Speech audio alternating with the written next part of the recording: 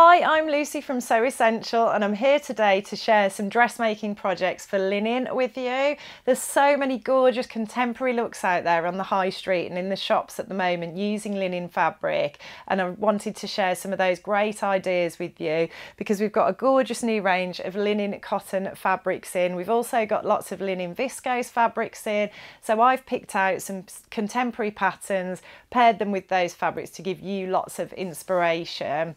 Everything Everything I talk about today is available on our lovely website and you'll find links to our website and all the products I mentioned below. And if you like what you see today, please like and subscribe because every Friday I bring you a video packed full of sewing goodness. If you can't wait a whole week, do jump on and check out our other social accounts where most of them we post daily. We're in all the usual places, Instagram, Facebook, and you name it. So yeah, jump on and have a look at those as well. But I wanted to do this video today. I made um, this blouse last year or the year before, and it's in a linen viscose mix fabric. It's Butterick 6801. So I will link the pattern and the fabric below for for you. Um, the fabric is currently available with a black background but it's still got the same beautiful popping colour print that you can see on this one um, and I'll link the pattern below as well and I also did a tutorial for adding the little ruffle on the yoke and I added a ruffle around the um, collar as well. If you want to see that, that's on our channel as well. But I just love this blouse. The fabric's breathable because it's natural fibres. It's lovely and cool. It's got excellent drape and movement, as you can see. Um, I loved making the blouse as well. It was a really fun blouse to sew, but really fun and easy to work with the fabric as well. Um, so I just thought I'd run through why that was before we get started with the patterns and the fabric. So linen is a great fabric to work with, especially for beginners or if you just want an easy sew. Um, it doesn't stretch as you sew, so it's not temperamental in any way. It's very, very well behaved and very easy to sew. It also hides a multitude of sins because of the texture and the slub of the fabric.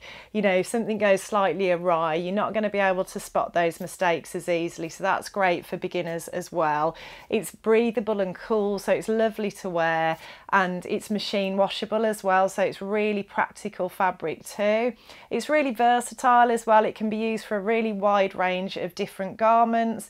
It does come in different weights and different mixes. So, you know, you just need to bear that in mind. But the linen cotton mix that we've got in stock now really is suitable for you know all garments I would say. I don't I, there's not anything I can think of that I think oh no that it wouldn't work for that. I really think it would be suitable for jackets jumpsuits dresses skirts tops. Um, it's a nice sort of mid mid weight I would say linen. Um, so it does mean it's really versatile. Now there are a few considerations with linen just to bear in mind the first one is it does shrink very easily. So it's absolutely imperative that you pre-wash and pre-shrink your fabric before you start working with it. I would always recommend that anyway with any dressmaking projects. The last thing you want to do is make a beautiful dress or a garment and then put it in the washing machine and it doesn't fit because it's shrunk. So always pre-wash your fabric, make sure you've got that shrinkage out um, before you start working with it. The other thing to bear in mind is it does fray fairly easily. So um, I'd always recommend working with a decent seam allowance, a 5 8 seam allowance. If you're working with anything narrower, like a 3 8 for example, if you make any mistakes and you do have to unpick, that can very quickly start working away, the um, seam allowance can. So I'd always recommend working with a 5 8 um, and then also you will need to finish those raw edges to make sure that they don't fray away with washing and wearing. So you can either do that with an overcasting or overlocking stitch um, or you can always use a French seam or a flat fell seam as well, depending on how what weight the linen is. In this linen viscose blouse, I did French seams, which gave me that lovely neat finish inside. So you've got lots of options there. And then finally, if you're not sort of familiar with linen, one thing I will say is if you're somebody who can't cope with creases, this probably isn't the fabric for you because it does crease um, fairly easily. So if you really cannot cope with creases, um, it's not for you. Um, However, you know, if you're pretty laid back about that, then it's absolutely fine. It does press beautifully as well. You might want to use a pressing cloth when you're pressing seams and things, just to make sure that you don't get any shine. Um, there is a video on our channel all about pressing and lots of tips for that if you wanted to check that out. Um, but yeah, and also the other thing to consider is prints will show less creases than plain um, linens as well.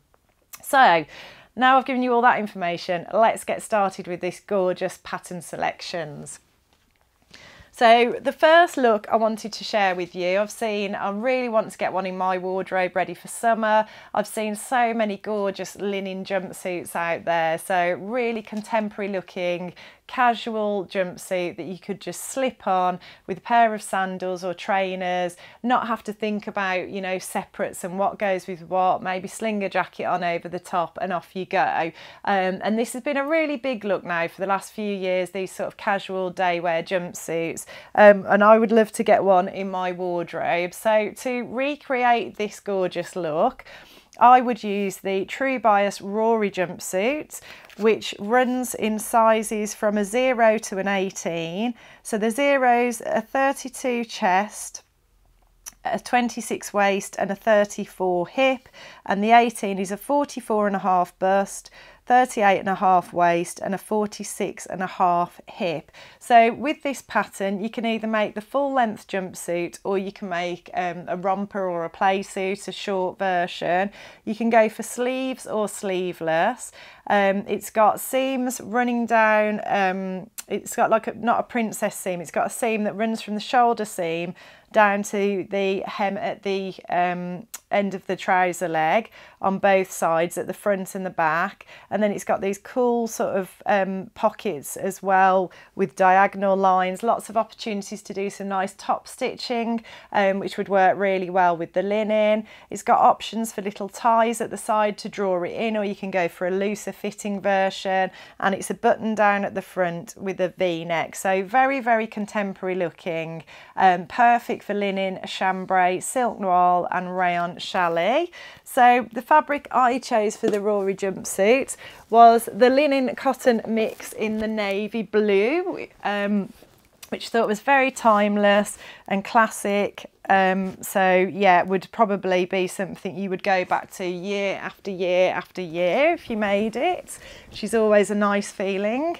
Um, so yeah, it's a, a sort of medium weight, I would say, linen, as I mentioned earlier. Now, when making trousers and things, it depends how you feel. It's sort of semi-opaque, so it's not completely opaque because obviously it's got that weave. It is a fine weave. It's not one of the really loose weave linens, um, but you might just need to consider that. If ever you want a sample, do just drop us an email. We're happy to send you one.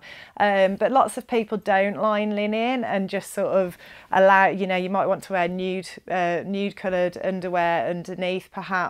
Um, you know, you might have different ways of dealing with that. But yes, you, you might want to consider whether you'd want to line this. I probably wouldn't. I would make a jumpsuit with this and I'd probably wear nude underwear and I wouldn't bother lining it. Um, but yeah, that's the gorgeous navy colourway there. So that would work beautifully for that jumpsuit, the Rory jumpsuit by True Bias. As I mentioned at the start, I'll put individual links to all these products below so they're nice and easy to find for you. The second look I spotted, um, there were lots of gorgeous wrap dresses in linen. So really pretty wrap dresses with ruffles and frills and that sort of thing, which I think are nice and easy to dress up for day, uh, dress up for night time or dress down for daytime. Um, saw these in lots and lots of different places. And the pattern I chose to recreate the look is Simplicity 9224, which comes in sizes 6 to 24. It's a Mimi G pattern. Um, so the six starts in a 30 and a half bust, 23 waist and a 32 and a half hip. And the 24 is a 46 bust, 39 waist and 48 hip. Um, so it comes in two different sizes. You'll find them both on the website and all the details are there for the size charts as well when you go on to look at the product. But this is a gorgeous wrap dress by Mimi G. I really love a lot of her designs. So it's got a grown on sleeve, so there's no setting in sleeves and it's got lovely sort of drape, so it's going to work really well in linen. The sleeve is finished with a band or a small cuff um, it's a wrap dress. Uh, it slightly looks like it's slightly gathered at the waist. I think you might need elastic. Yeah, so you use elastic at the waist, so nice and comfortable. And then it's got this lovely sort of waterfall asymmetric hem.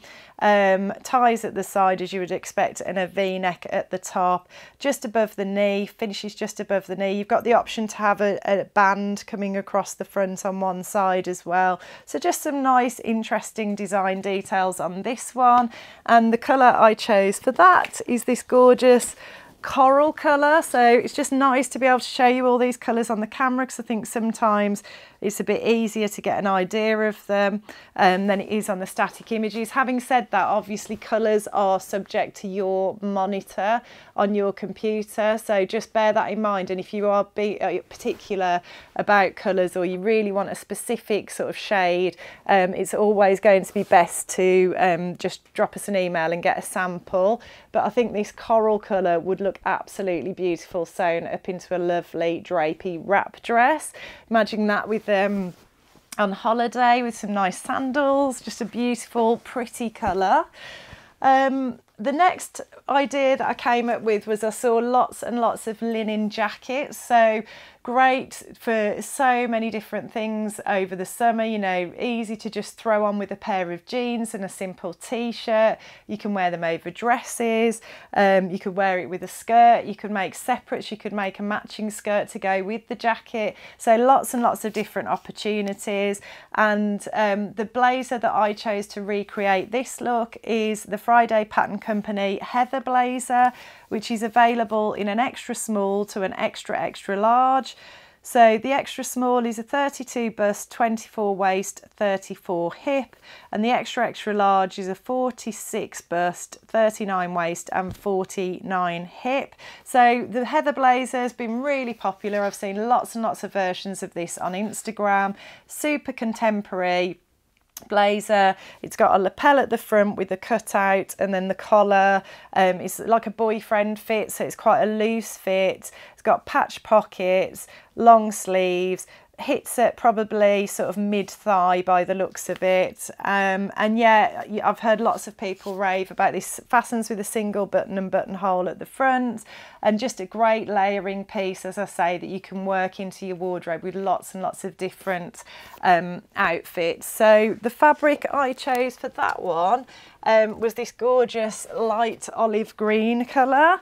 Um, I just thought this would look really nice with denim. It would go really well with black as well. And it's just a nice way to bring some pretty colour into your spring summer wardrobe. So that is the light olive green colour. Um, if you need any tailoring supplies for the Heather Blazer as well, you can find those on our website. We've got a great tailoring section on the website with lots of different interfacings and that sort of thing. So do check that out as well. As I mentioned, I'm linking all the patterns and fabrics below. The next look that I saw was a gorgeous, gorgeous dress. I thought this was a really interesting take on linen. And when I say, you know, I've been saying about contemporary looks, I think all of these are super contemporary.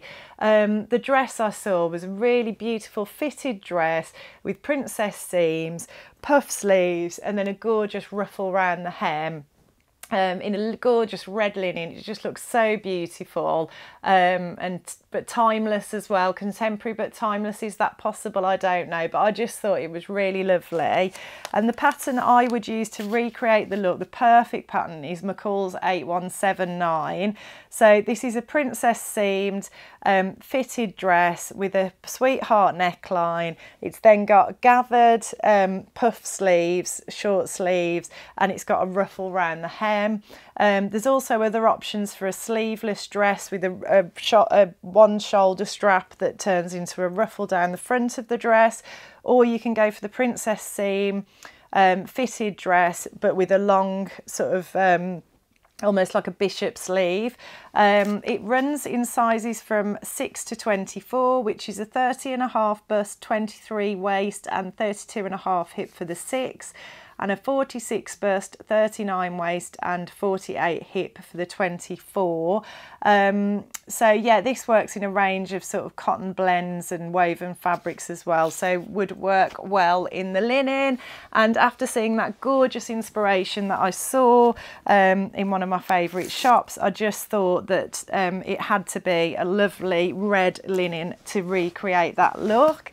So I chose the red colourway, which you can see here. That is just such a beautiful red. I'm sure you'll agree. Really, really lovely. I think reds can be quite sort of... Um, there's so many different shades of red and there's some that I really like and there's some that I'm not so keen on and I just think this is a really lovely shade, um, really lovely shade of red. So that was that look.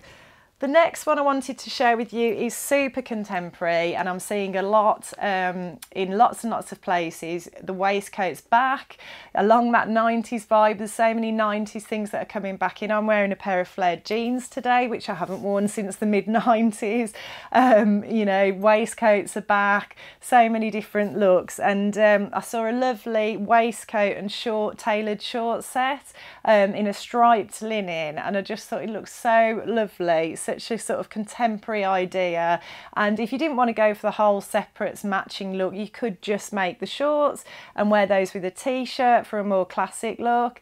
Um, or you could just make the waistcoat, wear that with jeans. Um, so yeah, different options there. But the pattern I chose to recreate this look was Vogue 1707. So you've got the option for a waistcoat and shorts. Um, shorts are a bit longer on this pattern than they were in the inspiration, but I mean, easy enough to just take that hem up and just shorten them. Um, but there's also a blazer style dress as well, um, with the option for some crop trousers underneath that. But the blazer style dresses have been really fashionable as well. I've seen a lot of those this season. Um, I would be tempted to lose the crop trousers underneath it and shorten the dress to about knee length if I was going to make it. But two super contemporary contemporary looks. And the one I was thinking of was the shorts and the um, waistcoat. Um, I'll just run through the sizes before I show you the fabric for this one. But um, it runs in an 8 to a 24. The 8's a 31 and a half bust, 24 waist and 33 and a half hip. And the 24 is a 46 bust, 39 waist and 48 hip. Um, and the fabric I chose for this one is this gorgeous linen cotton mixed stripe fabric we've got here in this lovely pale blue with the white stripe. Um, we've also got this in like a sort of sort of pinky reddy sort of colour as well.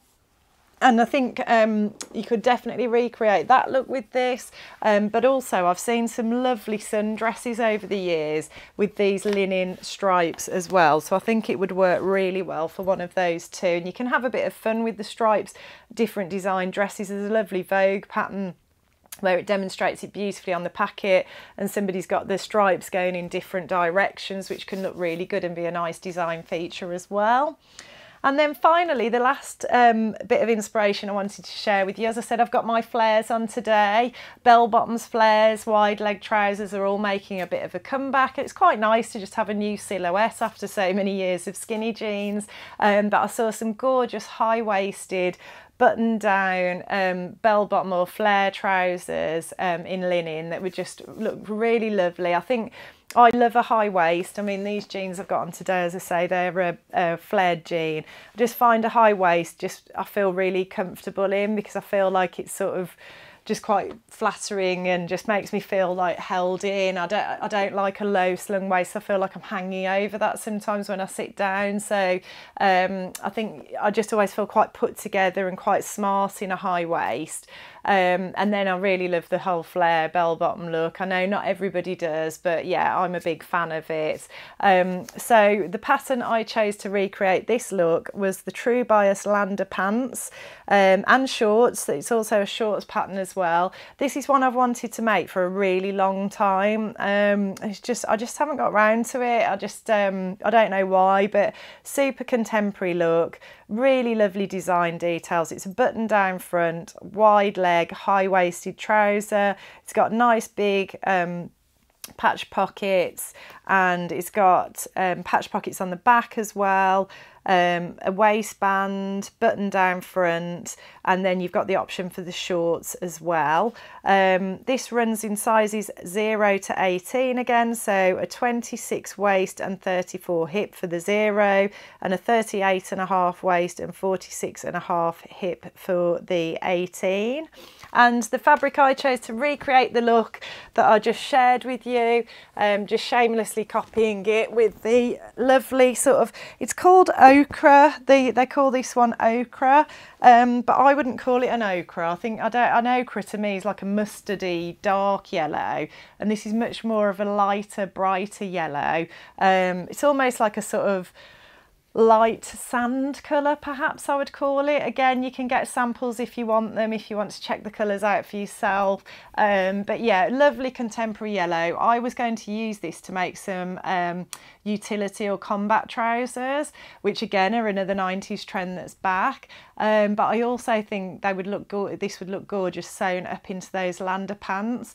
Um, again, just think about how um, important like opacity is to you. If you need it to be completely opaque, you know, you might want to underline or line this if you're making trousers. Um, but if you're okay with it being sort of semi-opaque, um, then you know you'd be all right with it. But yeah I just think that would look gorgeous. Very contemporary very fresh paired with a white t-shirt. Um, that would be a great look. So I hope you've enjoyed that today everybody. As I said at the start of the video, everything I talk about today is linked below. And if you like what you see today, please like and subscribe. And I'll look forward to seeing you next time.